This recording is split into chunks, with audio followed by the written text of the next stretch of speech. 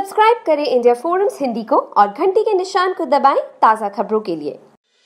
first नाम है अनुनानी का और सेकंड नाम है पॉप्स का